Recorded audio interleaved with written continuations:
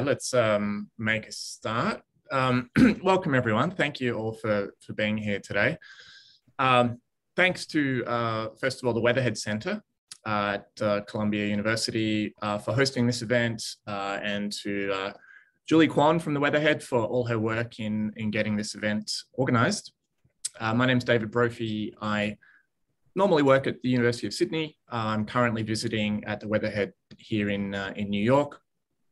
I'll be hosting uh, today's event, uh, which is held on the occasion of the, the first publication in English uh, of imprisoned Uyghur scholar Ilham Tohti's writings uh, entitled We Uyghurs Have No Say. Um, first of all, let me congratulate Verso for taking on this book uh, and also thank the, the translators, um, Talia Shui, uh, Cindy Carter, and Matthew Robertson for their work in bringing Ilham's writings to a, uh, a wider audience. Uh, the book also contains an introduction uh, by our colleague uh, Rian Thum, which is uh, very much worth reading. If you haven't had a chance to see the book yet, uh, Verso has provided us with a discount code, bringing it down to about $12 US. Um, and so I'll be putting that in, a in the chat for you in, in a second. Ilham Tohti was born in uh, 1969 in uh, Artush in the south of uh, Xinjiang.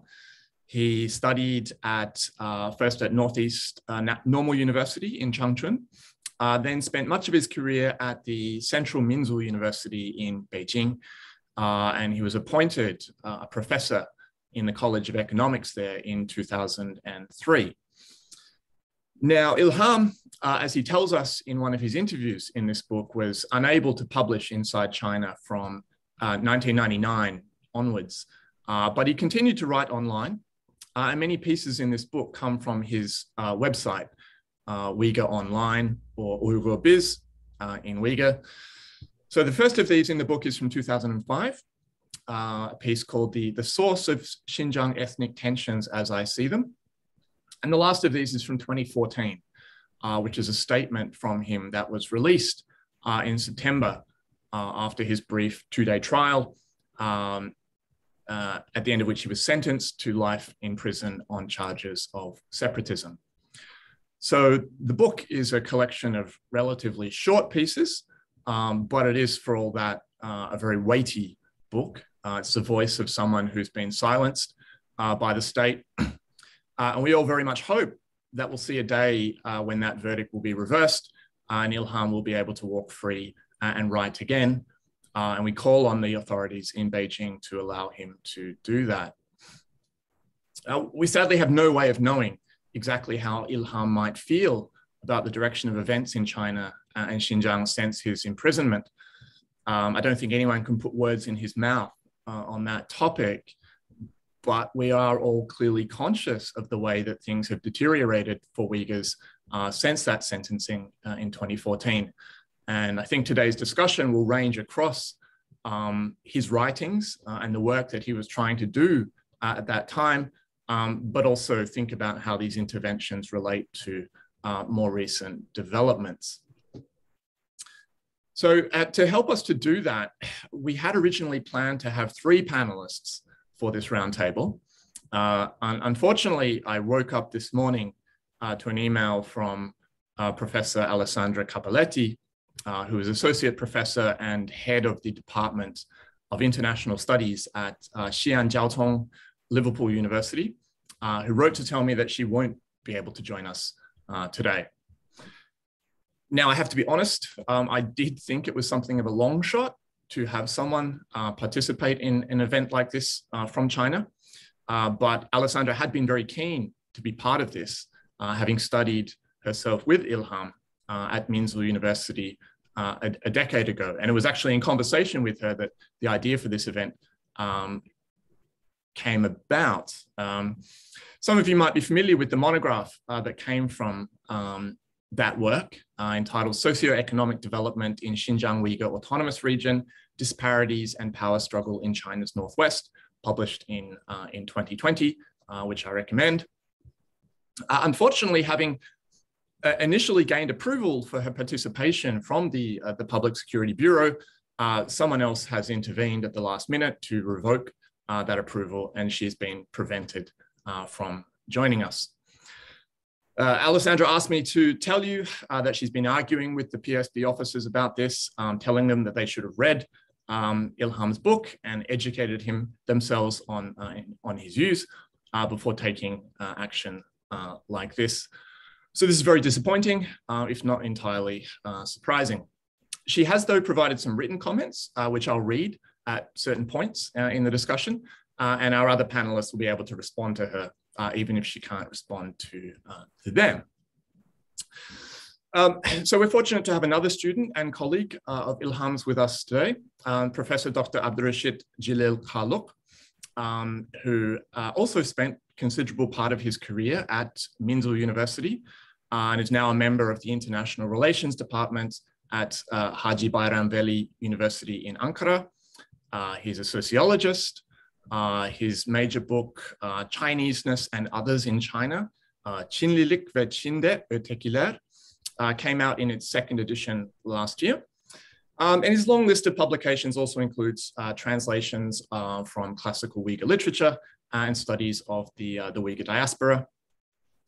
alongside him, we have Dr. Rune Steenberg, who is an anthropologist with extensive fieldwork experience in Xinjiang, I think he may well have been the last foreign scholar to really spend serious time in, in southern uh, Xinjiang, in, in Kashgar and, and Artush. Uh, he's now a senior research uh, senior researcher at um, Palacký University in, in Olomouc in the uh, Czech Republic with the, uh, the Sinophone Borderlands project. Uh, he's also in close collaboration with Uyghur postgraduate students in Turkey, bringing some of them into the Czech university system. Uh, he is uh, publishing frequently on uh, topics such as Uyghur marriage and divorce, uh, economic transformations, uh, and racio-economic, uh, racio-ethnic discrimination in the Xinjiang Uyghur Autonomous Region. Just a couple of articles from the, the last year, one entitled Legitimate Corruption, Ethics of Bureaucracy and Kinship in Central Asia. that's in a journal called the Study, Studies of Transition States and Societies. Um, and another piece in Asian Ethnicity, uh, entitled Uyghur Customs, the Genesis, Popularity, Productivity, and Demise of a Modern Uyghur uh, Topos.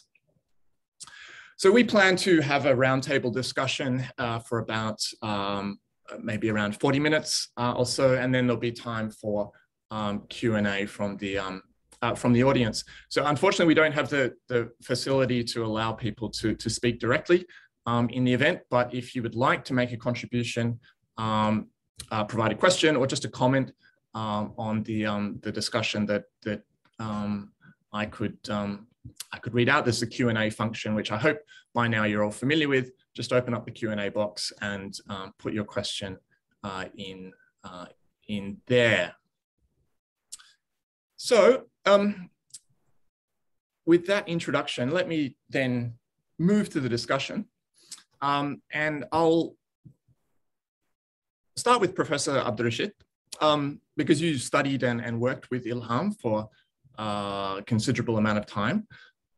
I'd like you to offer some thoughts on what he represented to you as a, a scholar, what was he like uh, as a teacher, and, and maybe if you could also talk about his, uh, his influence more widely on uh, Uyghur and, and non-Uyghur colleagues uh, in China.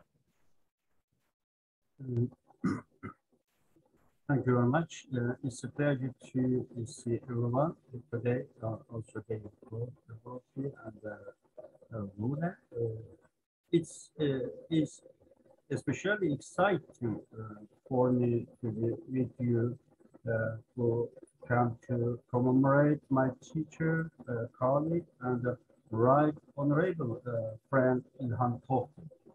Before I start, I would like to sincerely thank uh, Salya Xue, uh, Cindy Carter, and uh, Matthew Robertson uh, for translating the Ilham's valuable articles, essays, statements, and interviews into English. In addition, I would like to thank the organizer of this meeting, Columbia University Weatherhead East Asian Institute, and the moderator, you, uh, Professor David Brophy. Uh, please allow me to uh, clarify in advance. Uh, but in my speech or presentation or comments, I will not use the colonial uh, place name Xinjiang, which one, uh, as you know, imposed by uh, the Manchukuo invaders to Uyghurs. Instead, I prefer use the name of uh, East Turkestan, which is the real name of occupied country named used by the Uyghur and uh, others in habitats. Uh, in my opinion, Ilham Tohti, as a scholar, uh, becomes a common voice of the tens of thousands of Uyghur intellectuals or hundreds of thousands uh, of voiceless minority intellectuals or scholars in China. Is one of the rare faculty members whose academic ethics can be considered very good because he is an honorable scholar who does question and criticize the system in an institution like Minzu University of China. As you know, a former name is Central University for Nationalities and changed it into Minzu University of China after 2009. Uh, this university overly politicized and affiliated with uh, the State Ethnic Affairs Committee of China. At the same time, he is a conscious, responsible intellectual who does not only criticize the system or regime, but also makes positive policy and application suggestions uh, for the system to be better and more functional. Force the difference to live together in harmony and with peacefully. Uh, we know in, in China, uh, according to China's constitution law, uh, there are 55 minorities in, in China. Although he knew that the price was very heavy as a current contractor is stood by the weak, not the strong, the right, not the unjust. He became the voice of uh, those who could not be heard According to some people, perhaps the majority in China or outside, he was uh, a Don Quixote because what he wanted was completely impossible under the CCP leadership and the tradition of Chinese culture of governing others. But he still tried to be a hope, uh, uh, spark Ilham was very idealistic and uh, probably means that what he is trying to do was impossible. But since he knew very well the dangerous situation facing the Uyghurs, he also knew that in China's reality there was no other way out. Maybe he believed that something will be uh, will or could happen in China, which was trying to integrate with the globalization uh, world. You may remember uh, that during Hu Jintao area, there was a discourse of building harmonious society.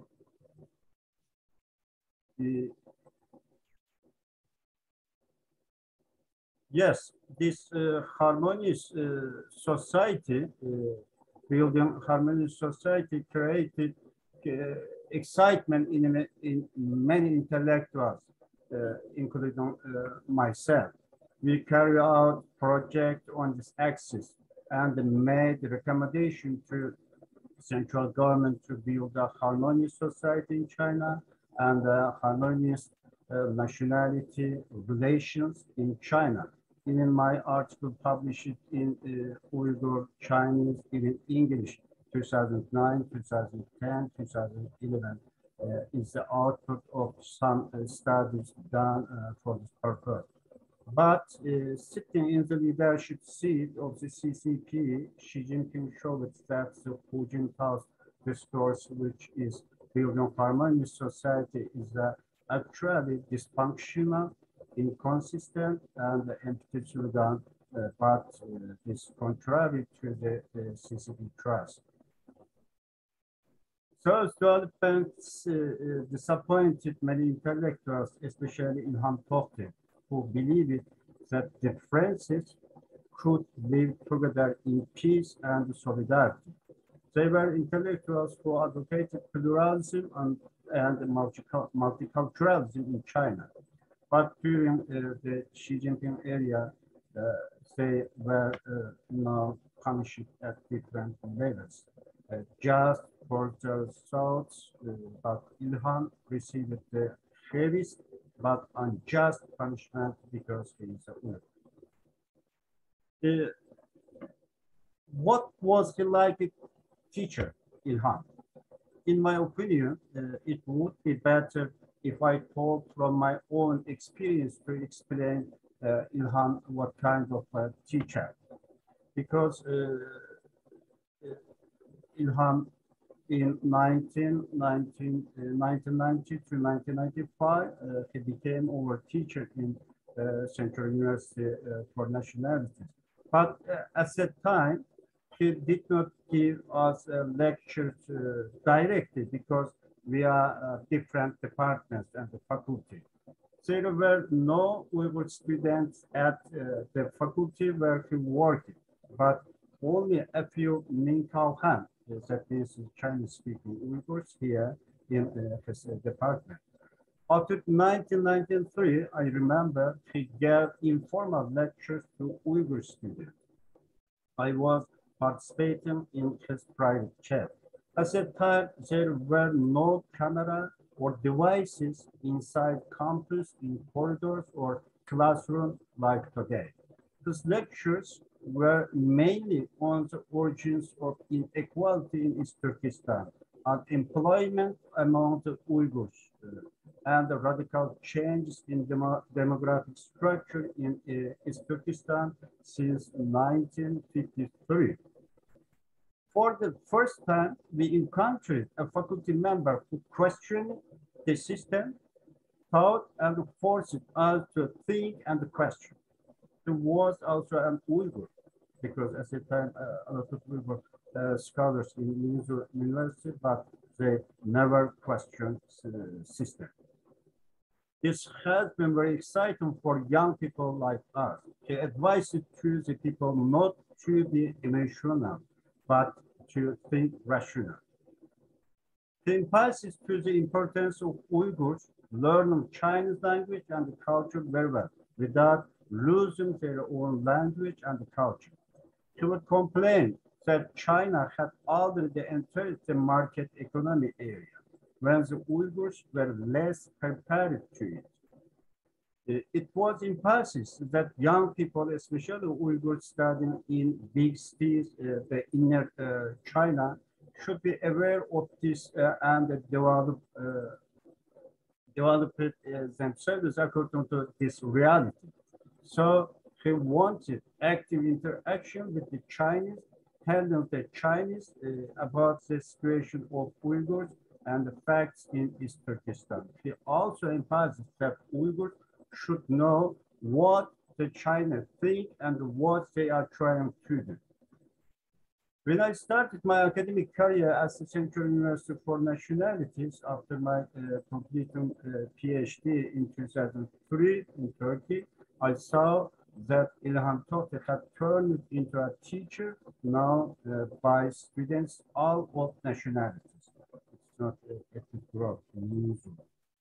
And loved by some of them. Sometimes our lessons were in classrooms in uh, side by side. I found his class was overflowing with students. I know uh, that students, some students comes from other universities, even from other schools in, uh, around the page. Later, uh, there were also intelligent officers in the classroom. I know from his lectures that Ilham gave to Chinese-speaking students in the following year while explaining the subject in more detail after making theoretical explanation he was giving examples on East Turkestan problem in particular and the problems faced by minorities inside China in general. In his lectures, he was telling the students the facts he gathered from the field, not the official propaganda data dictated by the system. With all its negatives, there were subjects as the absolute majority, uh, the faculty members, would not dare uh, to talk about and discuss, even if it was uh, implied. Uh, if you like, I, I, will, I would like to continue uh, Ilham uh, influence Uyghurs and the non-Uyghurs or uh, please, please take another couple of minutes if you would like. Okay. What Ilham did was actually strange work for both the Uyghurs and the Han Chinese because the system was not permitting to serious positive egalitarian relations and interactions between the Uyghurs and the Han Chinese. By the uh, time uh, Ilham ran Uyghur Peace Forum and the website, uh, Uyghurs were already marginalized by the party state, were uh, ostracized uh, in the inner China with very bad labels. In East Turkestan, however, one one was officially carried on state terror intimidating and mar marginalizing uh, the Uyghurs in every field with his endless hard straight campaign, Yanda. On the axis of the so-called fight with the three evil powers. Before the Uyghur Peace uh, Forum website and the website were established, Ilham's uh, social and academic influence was mainly through his university chair and academic articles published through various uh, censorship process. In a difficult period uh, uh, when Chinese nationalism was on the rise across China, Han chauvinism in East Turkestan deepened under the support and the leadership of the party state and the Bingtuan. The path of seeking legal rights for the Uyghurs was blocked and hopelessness spread. During that period, Ilham shone like a star in digital world in China. Following the internet-based digital developments in China, Ilham established Uyghur online website and the forum at the end of 2005. Its main purpose was providing a platform both Uyghurs and Han Chinese meet for discussion and exchange their ideas and opinions. It was a wonderful opportunity to advance the interaction among Uyghur and Han Chinese and the contribution to development uh, of a, a, culture of mutual understanding and uh, mutual respect. Uh, in other words, uh, to tear down the wall that the regime had built between the Uyghurs and the Chinese. The agonists of the Uyghurs uh, began to uh, directly express it and explained by the victims on the Uyghur online website, which is run by an Uyghur scholar in Chinese language and script. The problem of minorities which you could never find a place in the mainstream media, such as migrant children, drug addiction, HIV disease, unemployment, inequality, discrimination were voiced on this platform. Ilham became the most well-known outspoken Uyghur intellectual in the Chinese world due to his writings and comments. For this reason, until the 5th July Urumqi massacre, he was not well done among the Uyghurs who wrote and drew only in Uyghur language and script. However, the ones who can write and spoken both Uyghur and Chinese language among the Chinese and Uyghur communities are more familiar with Ilham and his writings. For most of minority intellectuals, he became a hope and uh, an example for seeking justice and the legal rights. As Uyghur Online uh, quickly became a popular website, work reached a wider audience. At the same time, this questioning, criticizing, and the suggestive writings or discourse have been good material for some minority and Han Chinese scholars who want to gain a greater position in the face of rising Chinese nationality. On this occasion, they further voiced their thesis that if the political rights of minorities are not taken back and if their nationality means of status is not reduced to ethnic level, uh, say, say Zuchu, uh, it will be a critical problem for the great Chinese nation. Of course, a significant number of Han Chinese intellectuals and intellectuals of other nationalities that I personally witnessed supported, uh, supported Ilham. They emphasized that uh, the emergence of intellectuals like Ilham from minorities, especially from Uyghurs and the Tibetans, is very important to establish an egalitarian social order and government orders that respects the rule of law. But after 2013, they were mostly disabled by the Xi Jinping regime.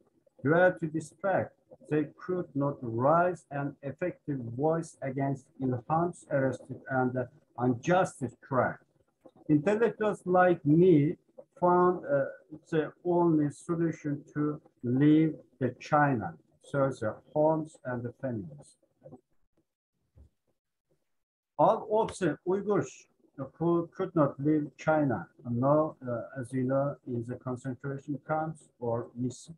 Intellectuals or other nationalities were almost silenced.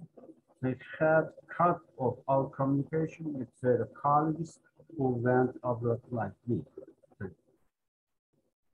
Thank you, Professor Abdurrashid. It's wonderful to have the perspective today of someone who knew Ilham so closely and um, worked in similar conditions uh, inside China.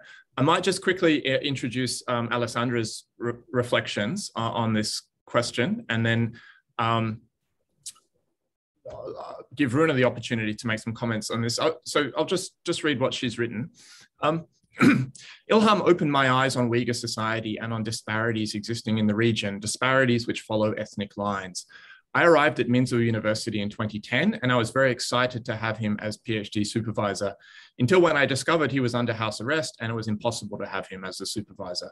I could only join his classes and Professor Karluk um, kindly accepted to supervise me. Uh, his classes were joined by hundreds of Uyghur students from many universities in Beijing. His energy was overwhelming uh, he was lecturing for three hours without a break. Uh, his passion and commitment were something amazing for me and all the other students. It was all based on data and figures collected during Ilham's fieldwork. Uh, I was the only foreigner joining his classes, uh, and among the hundreds of Uyghur students, there were always four to five Han Chinese in plain clothes, in their 30s to 40s, taking notes. Uh, in some occasions, he could not deliver the class, and a man uh, appeared in front of the students stating that he had a toothache. Uh, he was establishing himself as a scholar and a vocal advocate for the rights of Uyghurs. Uh, besides joining his classes, I was going with his students to eat in Uyghur canteens nearby, uh, in particular with uh, Mutalib and his girlfriend. Uh, should just say this is um, Mutalib Imin and Atikem Rozi, two students um, of Ilham's who were sentenced at the same time.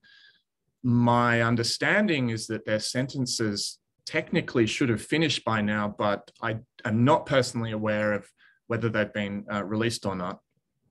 Um, to continue, uh, Ilham was for them, uh, for all his students, a lighthouse. Ilham was meeting them in his small apartment just outside the western gate of campus. They were often discussing about how Uyghur Islam should have been reformed and modernized. He was gathering a wide range of students, journalists, scholars around him, Han, Uyghurs, and foreigners, as he wanted to improve the communication among them and engage in sharing ideas and reducing the gaps among different cultures. He was charismatic and influential, as was evident that he did not have an agenda, he was sincere and committed to the task of improving the standards of life for Uyghurs, as well as improving Chinese society by giving value to diversity. Uh, it was clear that Ilham loved his country, that he considered himself part of this place. She's writing from China, uh, of course.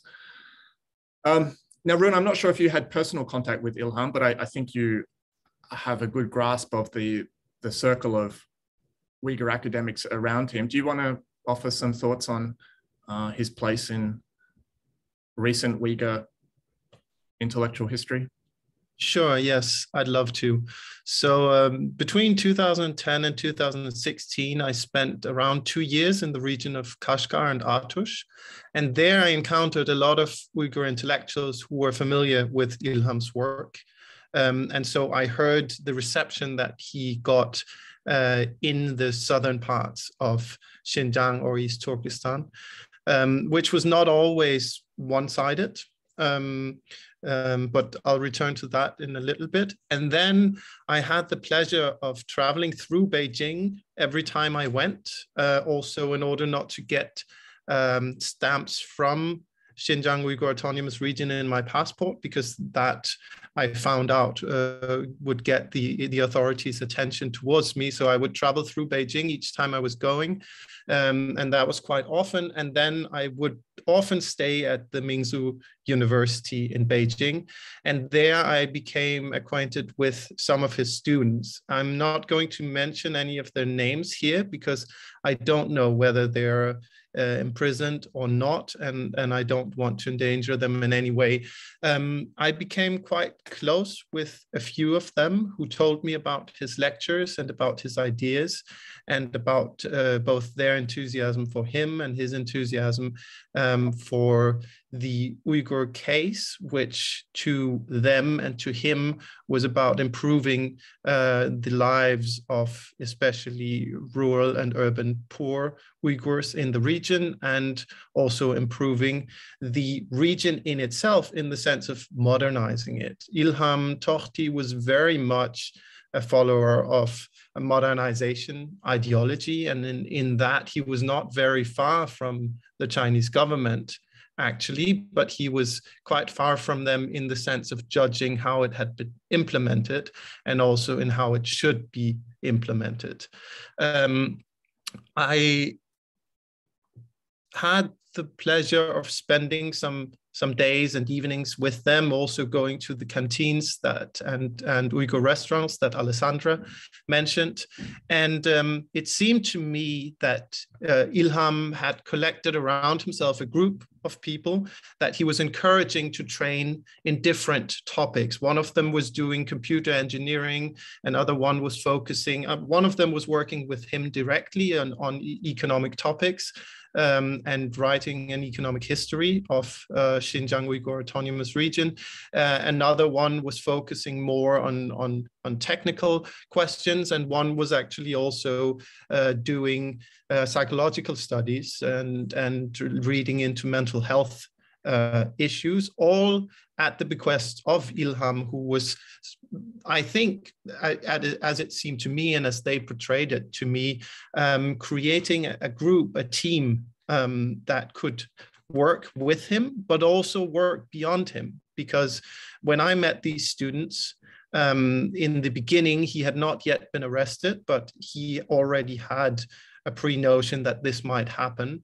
And he was preparing um, both his students and himself for the day when he might be approached by the authorities and he might be arrested or maybe even sentenced. The students I talked to and, and that I was close to were also quite close to his family. So um, it was a, a, group that were supporting and helping each other more in the sense of, of the classical Central Asian or even also Chinese student teacher relationship and less in the sense of uh, just a modern university professor and his or her relations to uh, their students. They were involved also in his family. And after he was arrested, I also know that they helped his wife and, and his children um, beyond that in Kashgar and other parts of uh, Xinjiang or East Turkestan, where I uh, talked to intellectuals and had contact with intellectuals, there were two perceptions of Ilham. One was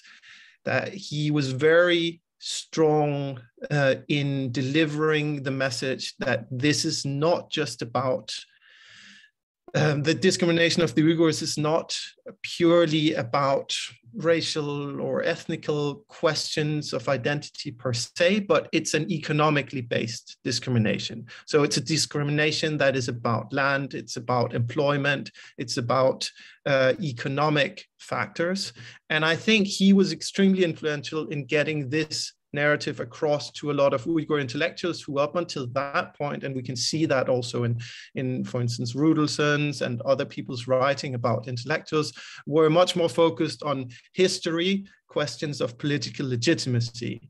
Um, and here Ilham, I think, probably along with others, but he was very strong, was in introducing the factor of the economy and of economic discrimination. He focused very strongly on the problem of rural uh, underemployment and unemployment amongst Uyghurs generally. And as Alessandra also mentioned, all the social problems that followed with it. And he was someone who was critical of traditional um, Islam, also strongly traditionalist Uyghur views, who were also quite strong in Kashgar and Artush at this point, um, arguing that a lot of the uh, Islamic uh, reformist and, and radical thought was a result actually of the unemployment, of the economic discrimination, of the limits that the government set to Uyghurs to participate in the modernization of China and of Chinese society, which he generally uh, supported quite heavily. And that led to the second perception of him in the Uyghur community. There were some, especially those who were more inclined to traditional and stronger um, religious views, who saw him as being too. Um, too close to government views, saw him as being not radical enough, saw him as being not militant enough for the Uyghur case. Of course, this was not stated publicly, but especially in 2010 to 2014, um, in Kashgar and Artush, there was quite a, an open discussion culture uh, in places where people felt they were amongst friends and they were safe. So a lot of these topics were, were discussed after 2014 and after the stepping up of surveillance and after people in the villages, uh, also many that I knew, started to disappear into different forms of internment camps and re-education centers, and then later also uh, prisons um, to a high degree. This changed a little bit, but before that, um, people were stating quite openly that they thought Ilham Tohti was so a, a, certain group of people that they thought he was not radical enough for um, pushing for Uyghur independence, uh, for instance, which was definitely something also that people discussed, and that he was too critical towards um, the religious uh, traditions of the Uyghurs or also the new, uh, more pious religiosity coming in. So I would say that's that's my introduction to Ilham, which was more indirect. Um, but but I definitely saw him as a very influential figure, and from the outset, I had the utmost respect for him, and I think he has definitely also um, influenced my academic work on Xinjiang. And I saw a lot of the analysis that he now introduces in his book, actually applying very much to the situation in southern Xinjiang that I found during my field work uh, between 2010 and 2016, and also the interviews I've since led in the Uyghur diaspora um, about the situation in these southern oases. Mm. Thanks, Rune. So let's let's talk a little bit about the book more specifically and some of the the interventions that it it contains, I was hoping to get your thoughts on what you see as the, the key arguments that he's advancing at different points that are that are marked by these um, uh, by these essays and interviews. What were the important debates at that time, and are there any specific uh, essays or, or interviews that you you'd like to highlight? I might I might just briefly um, give a give an edited version of Alessandra's um, comments. She has some more praise here for his you know, his, his understanding of socioeconomic dynamics in, in Xinjiang and China. She goes on to say, the key parts of the policy recommendations, they provide guidance on how to build uh, a peaceful and inclusive society by giving value to diversity. Uh, if authorities in Xinjiang would have considered them, it would have helped building a better society. He was looking at how the unequal redistribution of resources was creating a negative feeling and resistance among Uyghurs. He was still optimistic uh, he considered the migration of young Uyghurs from the countryside to the urban areas as a chance for Uyghurs to engage in jobs such as construction uh, and petty business, and in this way to grow their awareness about their status as, um, she says, B series citizens, probably say second class citizens. Uh, he was foreseeing a period of necessary struggle, but one that would be conducive to a better society. Um, he was sharing these ideas with scholars and journalists, mainly Han, Uh, his criticisms were to the local authorities and to the system. There were criticisms from the left. Uh, he was considering the quest for power and the redistribution of resources as a fundamental factor generating inequalities and distress uh, within society. Uh, she says she wants to highlight the, the long essay in the book uh, in particular. She's referring there to a, an essay called Present Day Ethnic Problems in Xinjiang Uyghur Autonomous Region Overview and Recommendations, um, which is dated in the book to 2013. It was apparently written in response to a request in 2011 from government uh, officials, presumably still in the wake of the 2009 riots uh, in Urumqi. It was never published, but it was posted online uh, after his uh, arrest. Uh, she says this part contains keys to unpack the current situation in Xinjiang, to understand the roots and the possible way forward. Uh, she also says that the conclusion of the book, the very last sentences, shows the level of human understanding, piety, and generosity of Ilham as a person and a scholar. Um, maybe turn back to you, Professor Abdurrashid. Um, are there particular uh, points in this book that you, would like to highlight for the audience um, today? Uh, you're, you're on mute still. Sorry. I'm sorry. Um, I'm sorry. Can you hear me? Yes, we can now.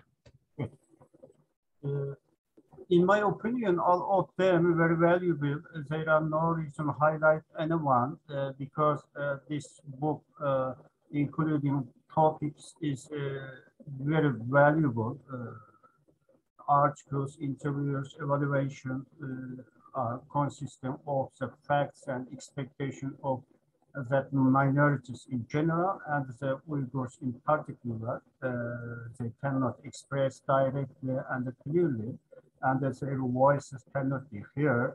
They were all written by uh, Ilham missionary and visionary uh, academic perspective with a sense of responsibility. Uh, so I think uh, it's very uh, good, uh, this book. But as you know, he published many research papers in Chinese, even Uyghurs uh, Uyghur language uh, after uh, this political and ideological censorship in peer-reviewed journals until he was banned from academic publication. so of course it would be more complete and uh, perfect if uh, his uh, other academic articles, research reports, and his fieldwork report, various suggestions he presented to the central government included, may be better. But uh, uh, in the future, uh, maybe the work will be published or translated into English. It's also very valuable, its current form of the book, I think. Mm -hmm. Thank you. I also think this book should be translated into other common language like mm. French or German or Russian uh, I uh, promise I will do my best and uh, try to translate the version of the book into Turkish. Mm.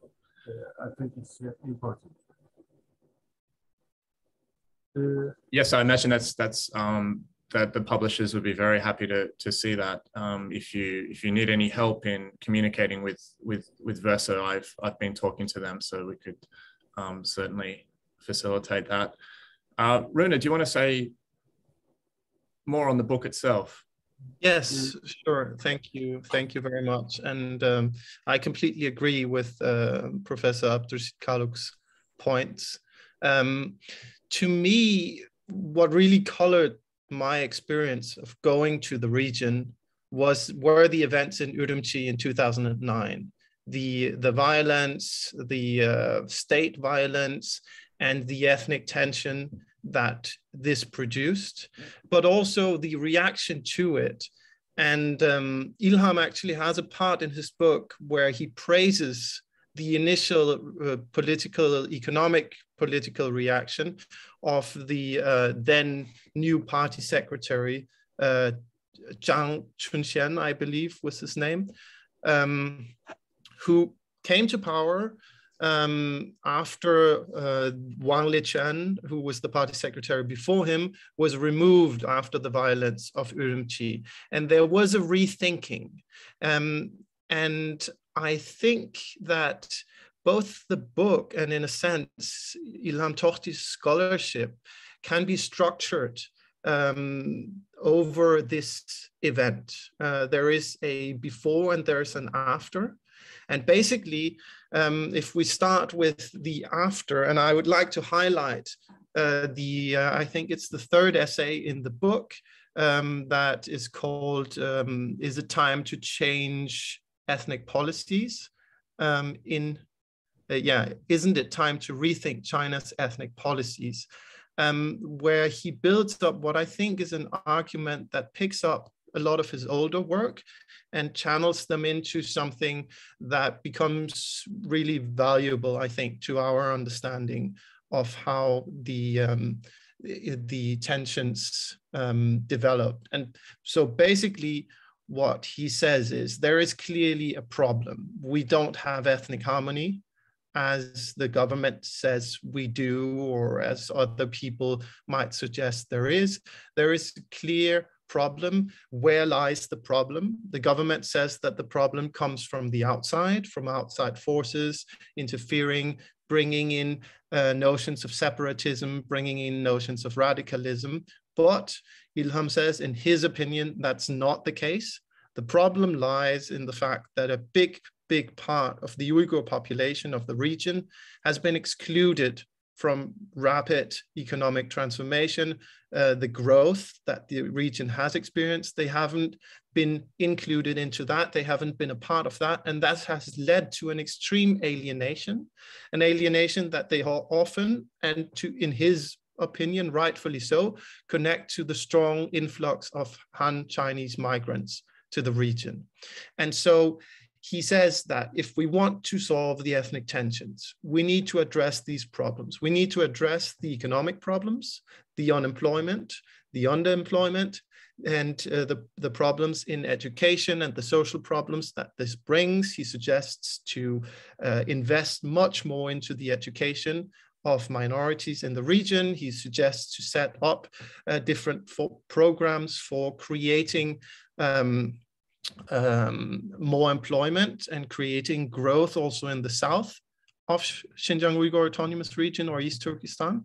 And I think these were some of the policies that the government actually started to implement after 2010. Some of these economic policies, they started to put into action. Just as before, also, Ilham Tohti has promoted modernization of the region, development of the region. And this, these were also things where he was sort of in tune with the government. I'm not saying necessarily that the government implemented some of these policies because Ilham Tohti was uh, promoting them. I think many people were promoting them. Many people saw that he was right, though most people did not dare speak it out so bluntly that he was right in the sense that there was a deep problem with economic inequality and that that was racially structured or ethnically structured and that that went back to discrimination against Uyghurs both inside the political system and in the private uh, economical system, and also especially the, all the overlaps between them, like SOEs and so on and so forth. So I think there was a certain understanding that that was true.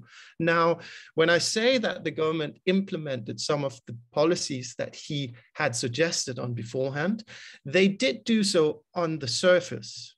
But what they did not do was to add to that the deeper changes that he also saw was needed. So he talks about um, doing something against underemployment and unemployment. He talks about doing something against uh, this frustration amongst the Uyghurs, including them more, but um, and also about education, investing into education, and so on and so forth. What he then come, the conclusion that he comes to is that that is actually only possible through a real implementation of autonomy for the Uyghurs, and that the crux of the whole matter is not just piling on economic development, investment, and so on, as long as that investment mainly goes to the Han Chinese, to the migrants, to the big companies coming in from the East, you can keep going and it would still create the same kind of tensions because you keep reproducing and even make stronger sometimes the problem of inequality. Because if you have a group of people, here the Uyghurs, who are in big part excluded from the development, the faster the development goes amongst the Han, the bigger the gap grows between Uyghurs and Han. And this I really saw happening in Kashgar while I was there, especially after 2014. So my experience was to put it very briefly, from 2010 to 2013, there really was an explosion of investment in Kashgar. And a lot of it was done by Han Chinese companies coming in from the East. And they were also skimming a lot of the, uh, the cream from that. But there was a trickle down effect to local business elites, to local Uyghurs who got some kind of employment. But the inequality was growing. And when things got worse and tensions heightened, and we had all of these attacks and different forms of, of violent resistance in 2013 and 2014.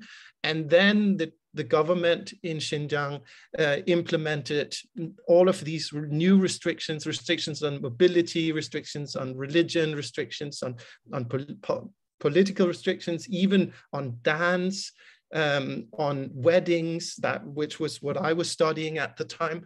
Um, this completely destroyed Uyghur participation, which was already very low. And it um, Uyghur participation in these developments, and it destroyed the local economy in a lot of places. And so what had been, as Ilham also writes, going in the right direction, but not quite far enough and not quite addressing the underlying problems of the ethnic discrimination from 2014 on was in a sense completely destroyed. And so I would like to highlight how he shows that the events in Urumqi are due to economic disparities, but that these economic disparities cannot really be resolved unless the problem of ethnic discrimination is addressed head on. And in his opinion, and I tend to agree, this can only be done through a real implementation of Uyghur autonomy in the region, which there is a base for in Chinese law. And he keeps coming back to that and keeps referring to that, um, and which is which is not being implemented. And that's also an area where I think he got a lot of of uh, positive feedback from the Han Chinese uh, intellectuals. And I think maybe we can talk about that a bit later, but I think that's a very, very important part of legacy also that he was listened to and taken seriously by Han Chinese intellectuals, also because he took seriously, at least on the surface, the government's uh, premises. He just showed them how they did not carry out um, what they what they preached, um, but he engaged uh, deeply also with even PRC uh, policy argument. And, and I think that made him very valuable, but probably also in their eyes, very dangerous mm. uh, in the end. Thanks very much, Rune. I, I, what you're saying is very interesting. I think it, I think it points to a certain tension or contradiction that you can see in the state rhetoric in, in China today, which is obviously still very de- de- developmentalist. Mm-hmm Uyghurs need vocational training and, and so on. But at the same time, because the, the materialist analysis of conflict and violence in Xinjiang, East Turkestan is associated with people like Ilham Tohti, that line that these things originate in inequality or so on has also been rendered basically taboo uh, in the discussion that this is essentially um, giving ground to, to separatist um, separatist thinking. Um, yeah.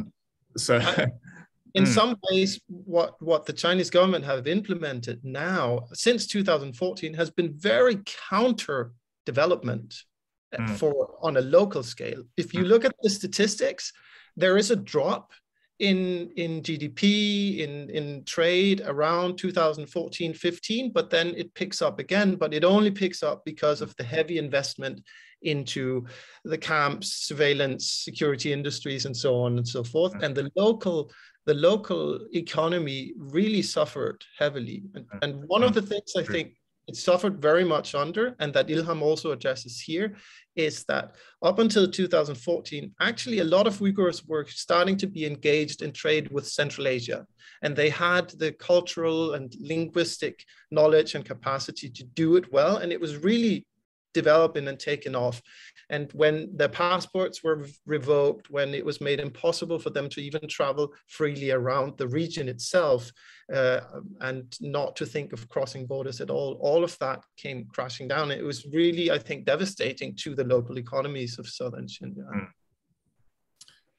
Right. Um, Professor Abdurrashid, you might have thoughts in response to things that Rune is saying, but please hold them for the next next question. I'd like to ask one more question. Um, and then I'd also like to encourage uh, anyone in the audience who has their own question, uh, if you'd like to raise them, we should, um, should be able to have about uh, 20 minutes or so at the end of this um, for questions from the, the audience. We've already talked a little bit about the, the differences between the situation today and the, the time in which um, uh, Ilham was writing. We've talked about his, his his optimism, his insistence that change could only come about through dialogue between Uyghurs and, and Chinese. And I just wanted to give you an opportunity to re- reflect on how his imprisonment and the, the wider crackdown on we, the Uyghur Academy has changed the, the, the intellectual terrain in, uh, in, in China. I mean, is there any space left to contest policy the way that, that he did, do, do his writings? Um, or the model of scholarship that he he provided, what what relevance do they have um, regarding the the situation uh, for for Uyghurs today? Maybe I'll change the order, so I'll I'll ask Rune first, and then come back and give Professor Abdurrashid the, the last word on this. Okay, uh, I'll I'll I'll try to be short then. Thank you. Um, I think one thing that we see in the essays in this book is something that uh, David Graeber has described as the, the, the stupidity of power, or the, that is in, entrenched in any kind of uh, situation of structural violence, where you have a group that has the upper hand and a group that is suppressed, and the group that has the upper hand understanding nothing about the group that's suppressed because they don't need to, but the group that's suppressed creating a form of intelligence that goes way beyond the group on the upper hand because they have to. And I think Ilham Tohti was an example of that, and he he um, created an understanding. He obviously read and reacted to the debates in Chinese academia and amongst Chinese intellectuals. He quotes Ma Rong several times in this book, saying that Ma Rong has also, like himself, seen that there's something wrong with the ethnic relations in Xinjiang, but Ma Rong is suggesting a different path. He's suggesting to completely dissolve the notion of ethnicity and thinks this will lead to basically like closing your eyes to the difference between uh, black and white in the US or immigrants and and uh, right wingers in, in, Europe uh, will solve the, the problem. And Ilham says, well, that cannot be the case. It can only basically be said by someone who doesn't understand what's going on on the ground. And I think he was pointing to the fact that, okay, he and other Uyghurs were reading the Chinese and understanding their points of views, but the, the, the opposite, the reverse was not the case. But Ilham was providing a, a window into that, providing an, um, an option where Chinese policymakers, intellectuals, and so on could get an Uyghur perspective, which they were otherwise barred from because they didn't speak the language and also because people either did not dare or was not, were not capable uh, um, intellectually in Chinese of, of, formulating the local perspective in a way that it was palatable uh, to Chinese intellectuals. With his imprisonment, that disappeared. That possibility of having a real dialogue, of really understanding things on the ground, of getting out of this stupidity of power from the side of the of the power holders that disappeared it wasn't just him there were other Uyghur intellectuals as well, but with his imprisonment, they stopped speaking because, of course, they were afraid. And the whole around that time, 2014, this the whole situation changed dramatically. People started moving away uh, like uh, uh, Professor Abdurrashid uh, himself, and also others, other intellectuals that were critical that I knew uh, from the region started moving out, or they fell silent. And then from 2017, I think everybody whom the Chinese government could have drawn on to create any kind of dialogue or to actually bring Uyghurs closer to the government, not out of fear, but out of, of, of conviction. All of these Uyghur intellectuals whose books I have here on, on my shelves, who have now been removed from the bookshelves in all of the region and are forbidden. Uh, they were, all of them, most of them were proponents of development uh, economics, of uh, modernization, of moving into an, an sort of, as they saw it, enlightened era in a in a way that was actually very conducive to to Chinese government policy. But that whole base has now been completely destroyed. That possibility has just been imprisoned, silenced, in some cases killed more more or less purposefully. Um, and so I think we're really at a a very bleak and and dark point in the sense of um, a possibility of understanding and dialogue, unfortunately. And I think it very much started uh, with the imprisonment of Ilham Tohti. Okay, I'll just throw in uh, Alessandra's remarks, so I'll, I'll, select a few points from what she's what she said on this.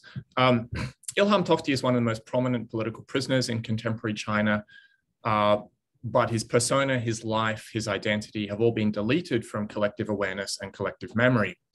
The, the new generations do not know anything about him. Scholars do not consider his work.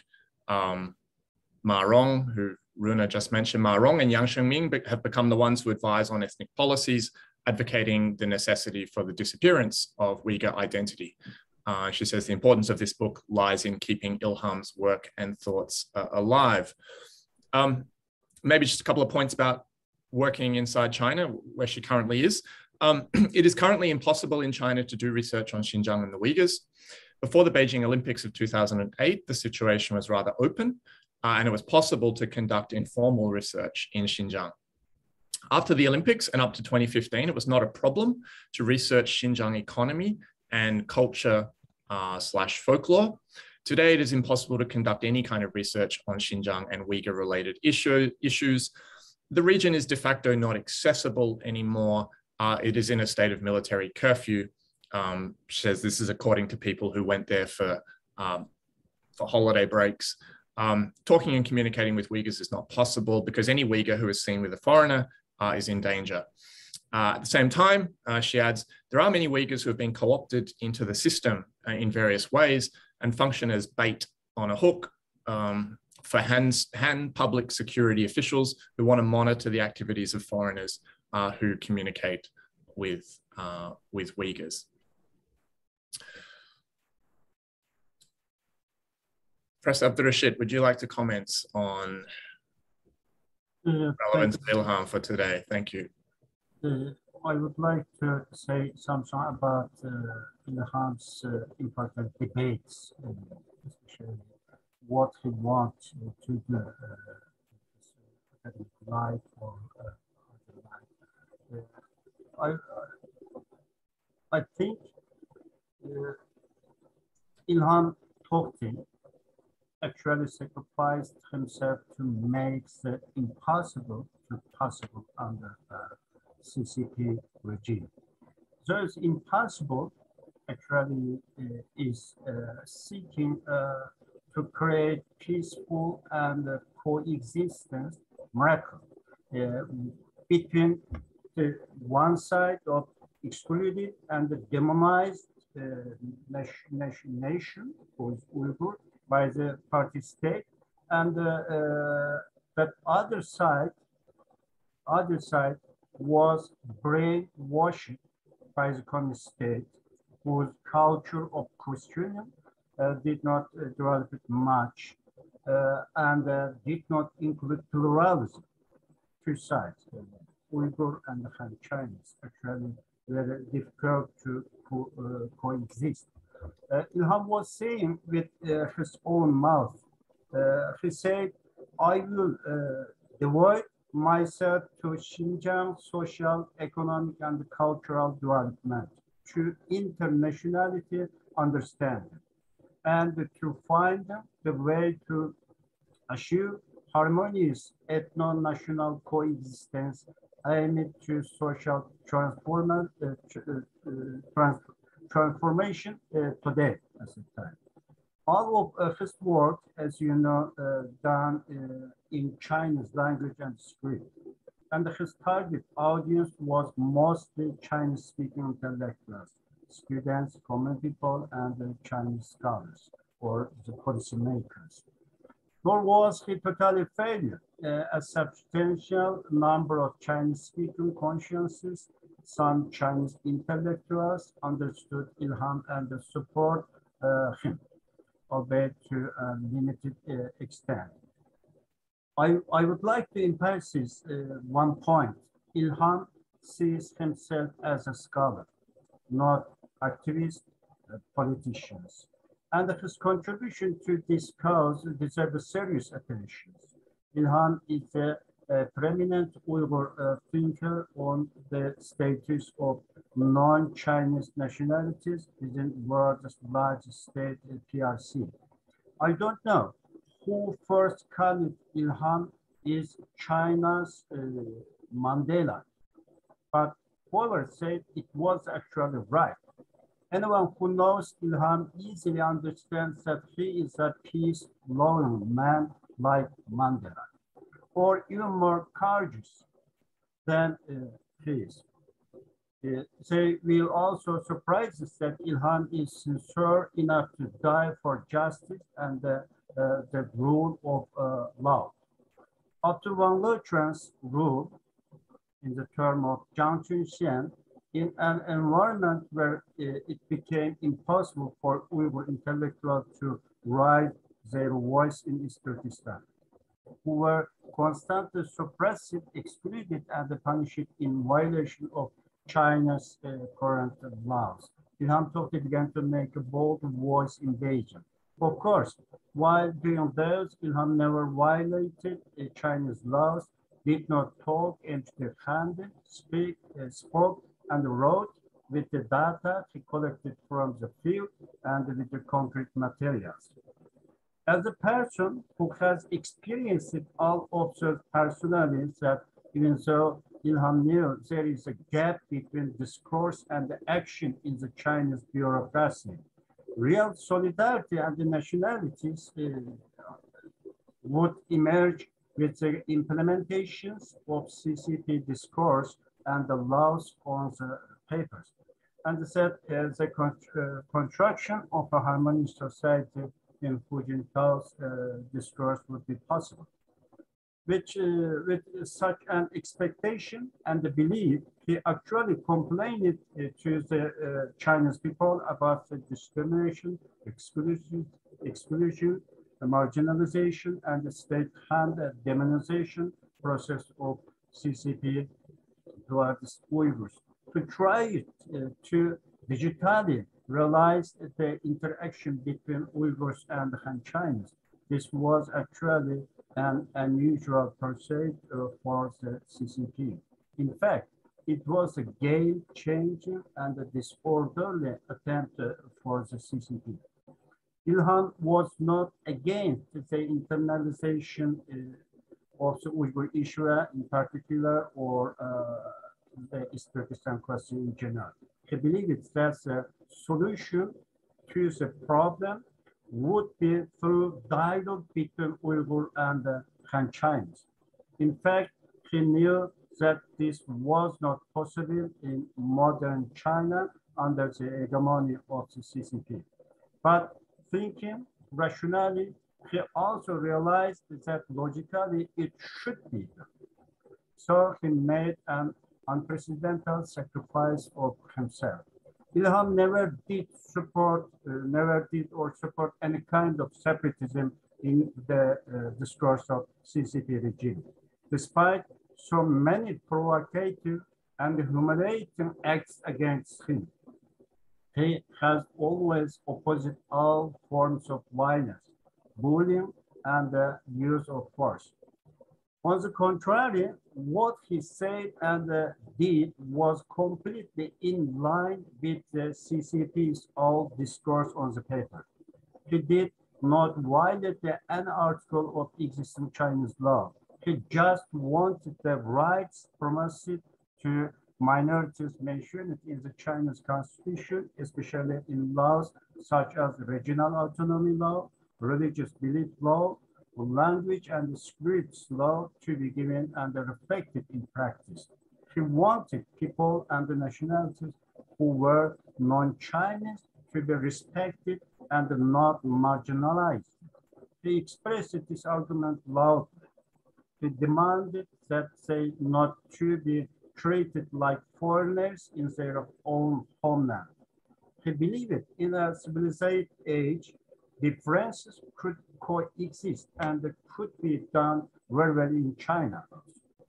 The most dreaming of a pluralist and multicultural society with the rule of law. All his discussions were about uh, that reality.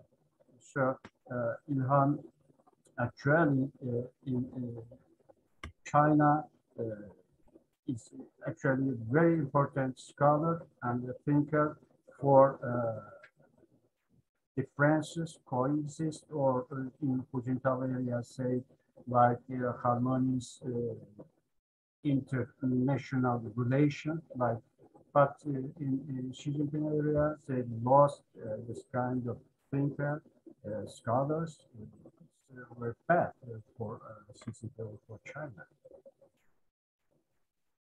Uh, if you give me one minute, I would like to say Please. a few words about Ilham Tohti uh, because uh, he uh, faced many difficulties and obstacles uh, in before 2013. If he had only focused on his academic career, perhaps he could would have been a brilliant Chinese scholar or international scholar or if he had continued his business because he uh, ran business in uh, inner China in Central Asia before 2009. He could have become very successful businessman or economist or even a multimillionaire or have he cooperated with the CCP like other uh, scholars. He, uh, he could have risen to very high positions in the bureaucracy with uh, uh, fluent Chinese and uh, Chinese cultural knowledge because a lot of Uyghurs in China, in bureaucracy, in CCP, they cannot speak well China, Chinese. Uh, but he choose, but he choose what no one dare. Now he is uh, in prison. His wife and the two children are orphaned in Beijing. Before that, they face so many difficulties in Beijing, but we cannot do anything. CCP fascism prevent us from even basic human communication with our family or uh, Ilham's wife or children. This is our reality now. Thank you. Thank you very much for ending on that um, important note, Professor Abdurrashid. Uh, I'd like to again ask if anyone has questions to please put them into the, the Q&A box. So if, if you even just have comments that you'd like to uh, read out, we, we have a few uh, we have a few minutes now. We, we have one question I'll um, that's uh, directed to um, to Rune. This is uh, from uh, Mr. Enver Can, who's from the um, the NGO, the Ilham Tohti uh, initiative. He he mentions here that he um, he appreciates Rune's assessment and testimony about the situation in the um, in, in, the south. And the question that he asks is, um, well, is it the reason that, that the government wanted to silence him was perhaps that um, he knew what the real problem uh, was and uh, was suggesting a realistic way on how to solve the problem. Do you have any response to that? Yes, thank you very much, uh, Enver Janaka. Um, I'm glad that you approve of, of my very short uh, analysis of the situation. I do think that, yes, you're right, that one of the reasons that uh, Ilham Tohti was particularly dangerous to the government or the government perceived him as particularly dangerous was that unlike a lot of other um, say Uyghur activists or even uh, people who were also active scholars um, Ilham did did suggest so I think he understood the problem quite deeply uh, that that was happening and he presented realistic solutions as you say that were alternative solutions to what the government and what the the um, communist party themselves were suggesting. And he did it i think beyond that in their language, in a language that was palatable to uh, Chinese intellectuals, even to government circles. Um, as Professor Abdurrashid has also pointed out, he was using terms that did not go beyond really the universe create the intellectual intellectual um, and ideological universe uh, created by the party itself. And uh, the, the fact that he used such words as han chauvinism which is an established term uh, even though it had gone out of of use uh, or out of fashion, um, but also that he spoke much about inequality, uh, unemployment, and so on and so forth, um, and and rights also, which unlike what many um, might perceive from Western media is is a discourse in Chinese politics and and economy, even though it's not much of a practice, unfortunately, especially in regions like Xinjiang Uyghur Autonomous Region. So he was addressing these problems in a language that was understandable, that couldn't easily be demonized. There was no racism uh, to be detected in his um, in his criticism, there was no, as also Professor Abdurrashid mentioned, no separatism. There was no religious extremism in any way. He could not be easily put in this box of the three evils or even of foreign influences, but because he was speaking in Chinese, in Chinese idiomatic terms, familiar to Chinese intellectuals and the government. So I do think that that was a big part of what made him risky and dangerous to them, that he was speaking in a language that they knew a lot of people would accept and that he was, she, he had a profound knowledge of what was happening in the region and what was going wrong in the region. So he's presenting, in a sense, an analysis that was superior to what they could present themselves, or at least what they choose to chose to react on themselves. Yeah, I think that's a key point, really, that he was a very difficult figure to portray as the, the stereotypical bogeyman um, in the in the Chinese in the Chinese context. A lot of his proposals uh, come out of a long history of debate within the, the communist tradition about um, engagement between the center and um, peripheral region. I mean, his call, for example, for Chinese officials to study the local languages and be able to communicate in local languages when he, uh, when they go to um, uh, a place like Kashgar. This was, um, you know, this was originally part of the the Bolshevik um, proposal to, to nationalize administration in these regions, um, going back to the, the, the 1920s. Um, I don't think he was exclusively standing in that tradition, but you know, you can definitely hear echoes of it in his um, uh, in his uh, in his work. Yes, and also the Deng Xiaoping uh, sort of rhetoric, which up until 2009 2010 was still was still reiterated in the the Xinjiang statistical yearbook in the very beginning they they start out their introduction by saying in the spirit of Deng Xiaoping this disappears uh, with Xi Jinping uh, coming into the picture, but his ideas of economic development and also of the cooperation between the different national groups or ethnic groups in that uh, development, I think is very much also echoed in Ilham's writings. For instance, in the, uh, the long essay that Alessandra uh, suggested, um, he explicitly um, recommends that Han Chinese and Uyghur entrepreneurs should be encouraged to cooperate, should be given incentives to work together using the Uyghurs' knowledge of language and culture in Central Asia and also, of course, uh, Xinjiang or East Turkestan region itself in order to uh, create sort of mutually beneficial uh, cooperation between them. And I think that was that's a language that's really difficult to, to dismiss um, by the authorities. I also think that till today, so I I read the the, the judgment that was that was uh, spoken over Ilham. Uh, and all the court papers I could see or find recently, some of them have been translated and published, um, along with other cases of, of uh, dissidents and political prisoners in China. And till this day, there's actually, they're just empty categories of him being a separatist, of him promoting violence. There's not one shred of real evidence of saying this is a sentence he wrote. From that sentence, you can clearly see that he is promoting this or that.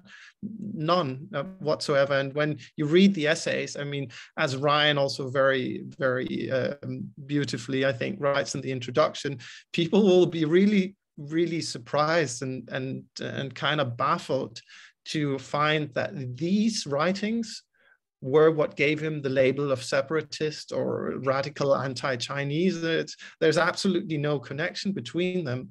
Um, and I, but I think, as Enver Can and you now also suggest, that that's probably a big part of what made him so so dangerous. That he could not so easily be dismissed, demonized, or, or labeled as something uh, illegal. Let me just ask, um, oh, have we just lost Professor Abdurrashid? I think so, yes. Well, we'll see if he comes back. I was going to put a question uh, to him. Um, in the meantime, look, we've, we've, got, we've only got a few, few minutes, but I'll just ask, um, pose this question uh, from Sam Bass. Um, this is to do with why is Ilham particularly dangerous? Ilham was a colleague of Woeser, the Tibetan writer, who is highly critical of China and ethnic policies. Woeser's freedoms are curtailed. She can't get a passport, is under occasional house arrest, and so on, but has never been charged with crimes, despite her writings being more widely disseminated and her criticism of China more direct. She is, in a sense, an easily identifiable bogeyman of ethnic separatism. What do you think accounts for the differential treatment of Ilham Tohti uh, his use of in-group discourse in policy suggestion, as Rune says, or something more about international awareness of Tibet, or was his arrest just symptomatic of the overall crackdown in Xinjiang beginning around 2014? Um, well, Rune, do you have any thoughts on that? We've, well, I, uh, I think all of the above, in a sense, I think it's actually um, um, a really good analysis by Sam. Um, I do not know much of Woeser's writing, uh, though I have I've seen that, that is she's the author of the recent book that was translated and published by Robbie Barnett, right? I, I believe on on on Lhasa. So that one I have been reading into, but otherwise I I don't I haven't seen that. I think that in I mean maybe already uh, starting with China participating in the, the international war on terror uh, and joining that, along with joining the WTO, because that was seemingly the Americans' precondition for being able to join the WTO to also um, be a be a part of that. Um, with that, I think a slow shift towards more focus on Xinjiang and the um, and the Uyghur issue and less on Tibet, or at least a different kind of focus uh, and, and a more violent one directed towards the Uyghurs because they could be labeled terrorists and radical Islamists, and there was more of an acceptance of that. Whereas, as Sam also suggests, uh, Tibet had much more traction in, in an international connection, um, at least up until 2017. I think that that might be a reason um, for this difference in treatment, but also maybe uh, the fact that Ilham was so close to Chinese intellectuals and was was very much a part of that scene. Um, okay, we'll probably have to wrap this up um, in a minute. We, we had a couple of other questions. One is from an anonymous um, Tibetan attendee asking about restriction on movement for ordinary Uyghurs if they want to leave Xinjiang, travel for study, pilgrimage, other purposes.